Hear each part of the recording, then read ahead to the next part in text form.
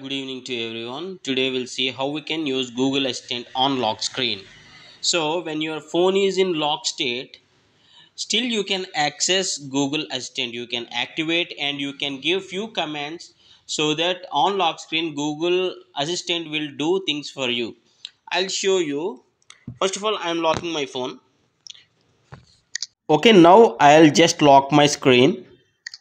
So now the phone is locked what I'll do is I'll just give the voice command like okay Google now so that it wakes up and waits for the voice command. Okay Google. Google. Okay Google. Call Sudhir. Do you want to use WhatsApp Messenger or phone? use phone to call Sudhir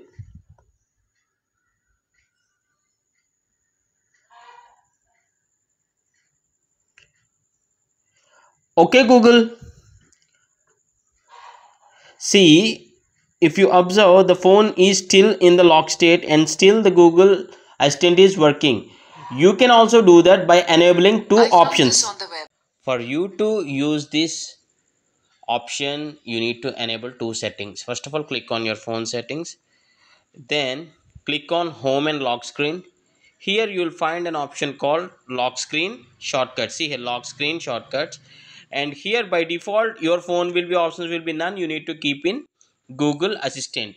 Then google assistant will work on the lock screen. If you disable this this option won't work for you. If you don't find this option you can just on the settings you can search as lock screen shortcuts. See here. Lock uh, lock screen shortcuts will be there. See here this one in this way also you can open this option and just enable this option and the second option. You need to open google assistant. On the search of the android phone settings you can just uh, search as google assistant. You will get google assistant settings. And here you need to click on hey google and voice match. And see here you need to enable this. Okay. And one more thing on the lock screen also the option should be enabled. By default this will be disabled on your mobile.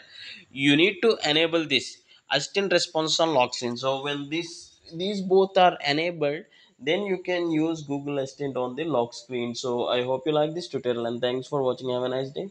Remember if you say something like play a youtube video or do some action on the lock screen in that case this won't work because still you have to unlock for such operations to be executed. Okay